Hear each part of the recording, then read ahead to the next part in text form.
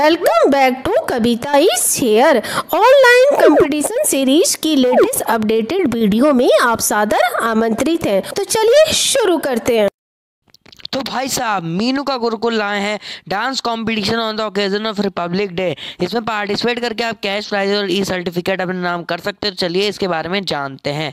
मीनू का Gurukul presenting dance competition online 2023 on the occasion of Republic Day इसके rules के बारे में चलिए डिस्कस करते हैं। मैं आपको बता दूँ कि जो वीडियो है मैक्सिमम तीन मिनट की होनी चाहिए आपकी डांस की वीडियो पेट्रियाटिक सॉन्ग्स पर ही थीम्ड होनी चाहिए, क्योंकि रिपब्लिक डे कॉम्पिटिशन है। लास्ट डेट ऑफ़ सबमिशन है, इकतीस जनवरी दो तेईस ग्यारह फिफ्टी नाइन पी एम तक। और इसके बाद मैं आपको बता दूँ कि each participant can send only one dance video और एक से ज़्यादा वीडियो सेंड करने पर आप डिस्क्वालीफाई हो सकते हैं। डिसीज़न ऑफ़ द जजेस विल बी फाइनल रिज़ल्ट पाँच फरवरी को आपके सामने आएँगे। और गाइडलाइंस की बात करें तो गूगल फॉर्म के थ्रू या तो व्हाट्सएप के थ्रू आपको सबमिशन करना है। गूगल फॉर्म का लिंक आपको डिस्क्रिप्शन में मिल जाएगा और स्क्रीन पे दिखाई दे रहा होगा। और व्हाट्सएप नंबर है nine nine five five one three three four four zero एक बार मैं फिर से बता दूँ कि इन दोनों में से एक साधन ही आपको अपनाना है।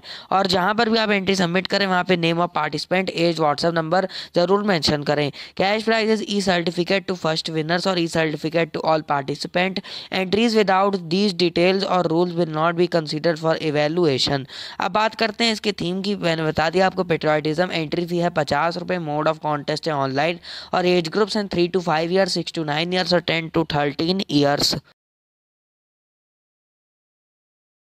अगर ये इन्फॉर्मेशन जरा भी यूजफुल लगी हो तो प्लीज़ इस वीडियो को लाइक करें, अपने फ्रेंड्स के साथ रिलेटिव्स के साथ शेयर करें और ऐसी इन्फॉर्मेटिव वीडियो समय समय पर देखने के लिए इस चैनल को सब्सक्राइब करना ना भूलें। साथ ही न्यू वीडियो की नोटिफिकेशन के लिए बेल आइकन को ऑल पे क्लिक करें और हाँ अपना फीडबैक कमेंट सेक्शन में ज़रूर बताएँ।